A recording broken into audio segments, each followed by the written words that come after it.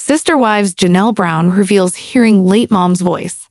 Hello, lovely viewers, and welcome back to All Up Emotion new episode with Arena. Since Sister Wives premiered on television 14 years ago, fans have seen the family struggle through love and loss. Meri and Janelle Brown both lost their mothers during that time frame. Although it was a deeply personal loss, fans sincerely felt connected to the women and mourned along with them. But even so, the memories live on. Janelle Brown recently shared a tender moment with fans, revealing she can almost hear her mother's voice. Losing a parent can be one of the most challenging things a person will go through in their lifetime. Although Janelle Brown loves and misses her mother dearly, she has plenty of fond memories to keep her going. Ironing a shirt today because it's finally kind of cool enough for long sleeves, and I can still hear my mom's voice telling me to start with the small sections collar, cuff, yoke, and then move progressively bigger. Janelle Brown shared with her Instagram followers. It's interesting how some of the littlest things stay with you the longest.